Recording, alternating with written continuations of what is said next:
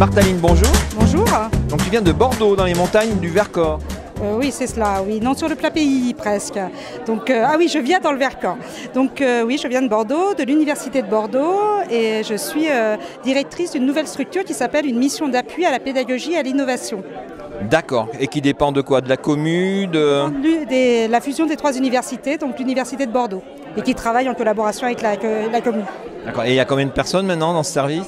Alors, il y a 19 euh, BIATS et une direction scientifique, donc moi-même, et un directeur adjoint scientifique. D'accord. Et donc vous faites de l'appui à la pédagogie On fait de l'appui à la pédagogie, du développement euh, de nouvelles euh, inno- d'innovations technologiques et pas technologiques. En gros, c'était l'idée de construire un SUP rattaché aussi à la cellule TIS et mettre tout ça dans la même structure pour pouvoir développer l'ensemble. Ah bah un peu comme chez nous à Lyon. hein, d'accord, d'accord. Ok. Et donc qu'est-ce que tu es venu chercher ici à... dans le Vercors?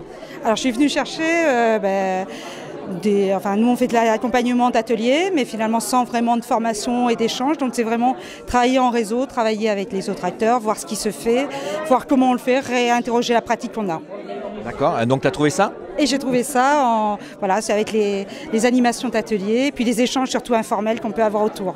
D'accord. Et euh, bah, puisqu'on est dans le réseau Pensera là, qui s'ouvre sur l'extérieur, est-ce que euh, toi tu es à l'Aquitaine Est-ce que vous avez ce type dans le sud-ouest et des réseaux Pour, pour l'instant, on n'a pas ce type, mais on a discuté donc avec les personnes de Toulouse, justement avec l'idée de pouvoir, euh, ça fait déjà quelques temps qu'on en discute, pouvoir développer des choses ce côté ouest et voir si ça, on pourrait faire quelque chose Bordeaux, Toulouse, soit Montpellier, ou plutôt remonter euh, côté euh, Nantes, je sais pas. Donc, euh, Remonter du côté Nantes, les Nantais, c'est pour vous. Et alors, du côté de- du sud-ouest, c'est- quoi les tendances, les MOOC, les classes inversées, les pédagogies actives? Donc ben, on essaye de développer les choses. Donc le MOOC, on en a eu un parce que quand l'université s'est créée, euh, ben, justement la présidence nous a demandé de voir ce que ça coûterait de monter des MOOC. Donc on a eu un premier MOOC qui s'appelait Économie de l'innovation, qui a été ouvert en octobre. Donc voilà, qui a été un gros truc sur lequel on a développé un IDFI numérique pour essayer de voir comment on pourra développer ça. Donc il y a plein de gens qui veulent en faire, mais euh, voilà, il faut qu'on voit les finances, les coûts, l'intérêt.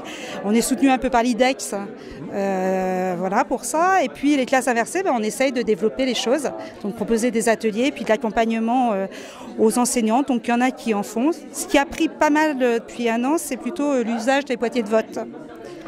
Voilà, que ça soit, c'est parti du du UT, puis petit à petit, euh, on a investi nous sur des, des valises de boîtiers de vote, et puis elles sont régulièrement empruntées pour euh, des usages très différents.